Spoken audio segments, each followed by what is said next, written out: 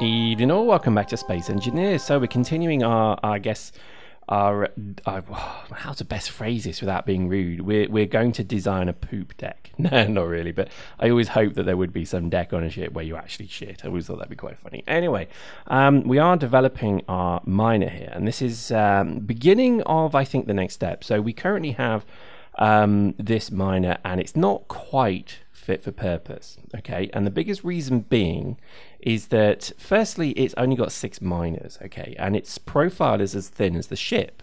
So if you mine into an asteroid, the rock is very close to the hull. So the easiest way to do that is to make it a cone. So there's obviously going to be a huge kind of grinding.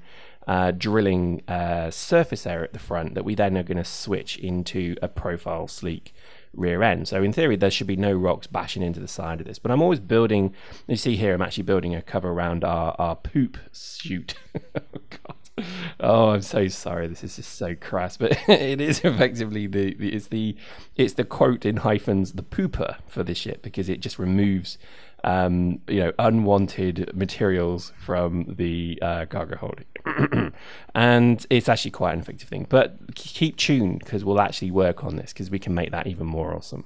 But you notice I've actually built a, a, structure around. Look at that beacon. The beacon looks amazing, doesn't it? I do love the way that beacons give off this glow. Um, more ships and more more modules should have that. I think reactors should glow when they're under strain and under stress, the reactor should actually like heat up. That'd be pretty awesome, wouldn't it?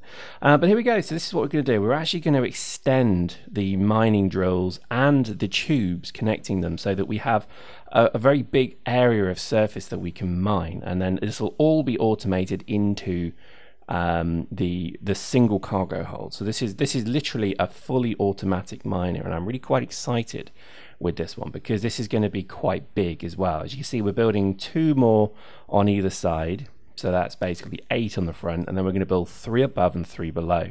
All of them connected through the, the conveyor system to that single cargo hold at the back. Really cool stuff. Um, and I think this this certainly is what I think drives me with this game because it's like, okay, I've got this and I've got it to this level. Can I push it even further? And I think this is a great example. This ship was a load of bollocks. It didn't quite work.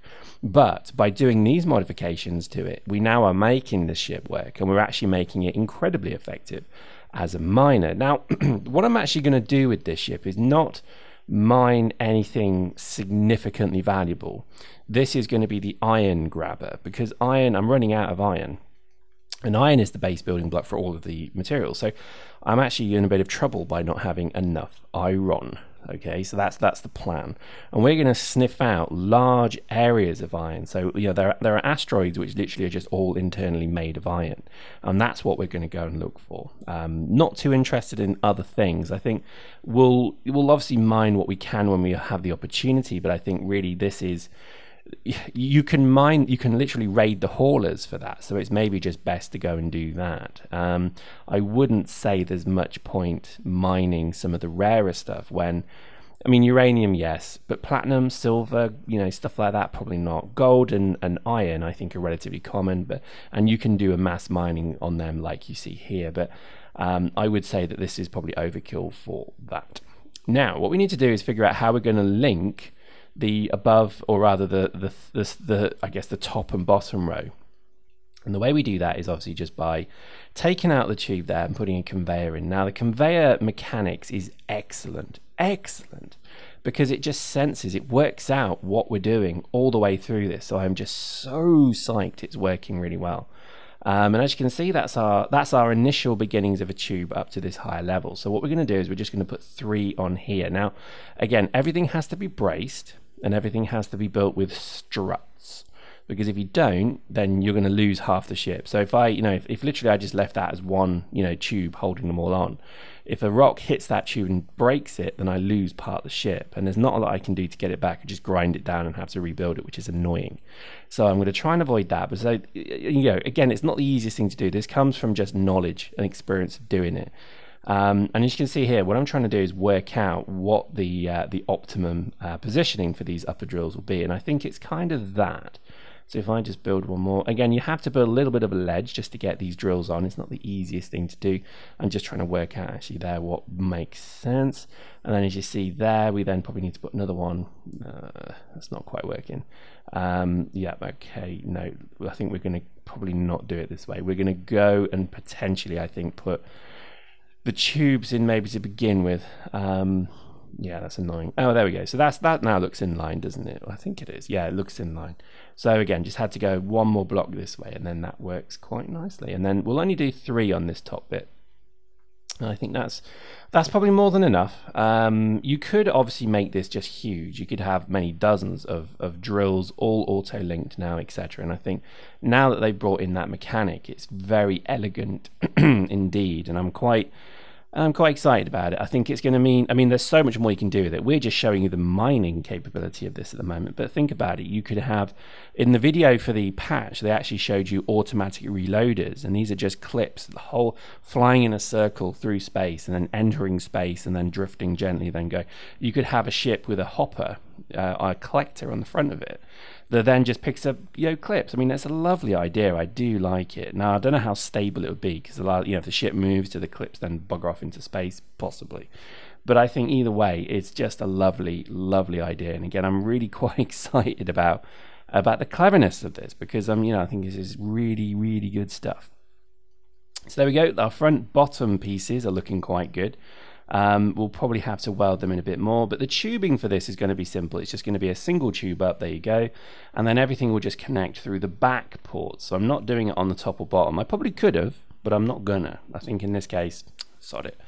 Um, I think, I don't know, maybe that's wrong. Post in the comments, tell me how you're connecting these things.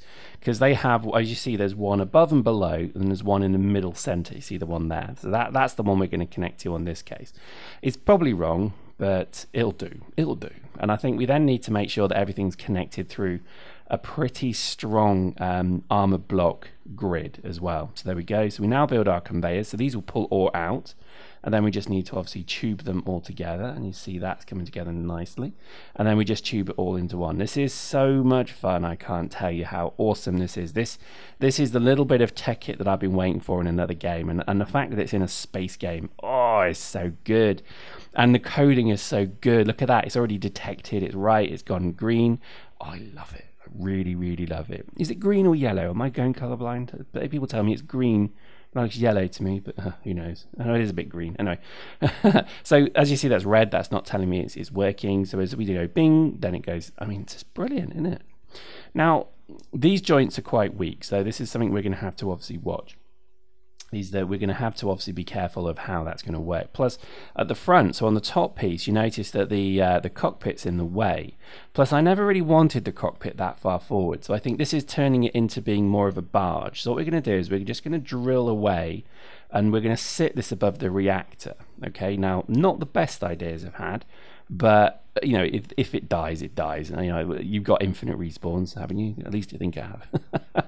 um, but we're going to see how this works. It may work, it may not. But I think having the the cockpit back here makes a lot of sense because then it's much more of a I don't know, it's more of a barge. You know, you're you're you're you're away from the danger if that makes sense. So as we grind away our cockpit there, lovely. Now we now have access to um, the the main tube connecting the uh, to the large can. So this is working really nicely, and I think probably just something to bear in mind. Large cans are better than medium cans because they have doors on all the the, the what the eight no six axes, um, and if you don't have that, uh, the medium can only has two. So you have to be very careful of that um, to just bear that in mind. There we go. Just building our. Oh, we're only going to put. We're going to put three on top here. I mean, we could do more, but I think for now, you know, we'll we'll we'll see how this works. And that's coming together nicely. So here we go. Plug in again. More drills, even more, and that's that's positioned beautifully. Look at that. Perfect. And then we just drill these in. Now, again, you know, one of the things to bear in mind is that this this isn't incredibly intensive on parts because small thing, you know, the small ships don't use that many parts uh, at all. So I think that's definitely worth considering because life can become quite easy um, on these smaller ships. But when you start to do large ships, you start to get a bit of a it becomes a bit of a pain. But look at that. So we've got quite a you know a circular almost grid structure on this thing now. That's looking pretty decent. Oh those you see those plates fall away? That was awesome. Um, and as we start to drill these last few bits in this is looking pretty good. Um, and to be honest you know as long as you keep everything generally central so you see the the mass is generally centered um, you're not going to have any problems with thrust. You're not going to have any problems with the uh, the centrifugal forces of these drills when they're spinning either.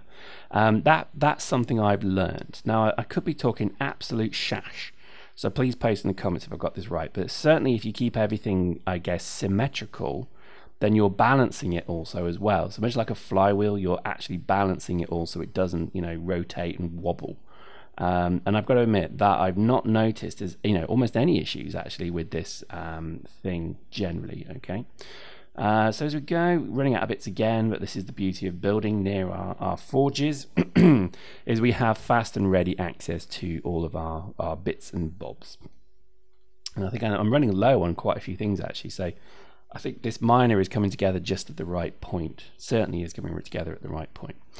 So we go, last for drill is coming together. Now what we need to do is then just connect this up. So let's just finish these pipes. As you see they're coming together nicely. And then same as before, we just get our conveyor, we just plug those into the back. We probably could do it other ways, but I think this is fine for now. Uh, this works, so I'm happy with that. And then all we do is we just connect left and right and then we just connect up and down and then we are done. And then we need to do is just weld it all into position and then go for a test drive.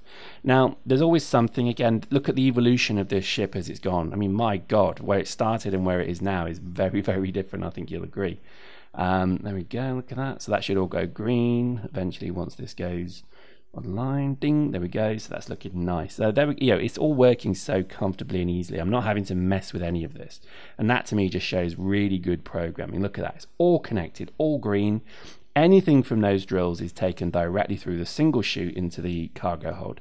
And then the beauty of this is that the cargo hold um, automatically can then be programmed to eject everything out into the hopper so let's go for a test. Now this thing is going to be, you know, I hope it doesn't explode as I uh, as I try it. Um, but I think this is going to become quite an important ship for the fleet. As you notice, it's getting bigger and bigger as well, because you don't want to have to spend too much time mining, and you want to start bulk mining where you can as well. So let's go and take this bad boy for a spin. And I think in, in, terms of how this thing's powered, it's got plenty of power. The reactor's holding it. This is, you know, this seems to be coming together quite nicely. And I think yeah, this is going this could potentially work. This could work. You never know. So there we go, and we'll cut it there. I think we'll, we'll join us tomorrow when we test drive this thing, and um, we'll see how we can make that automated dropping of ore into the ship a lot easier as well. Hope you enjoyed that. We'll see you next time.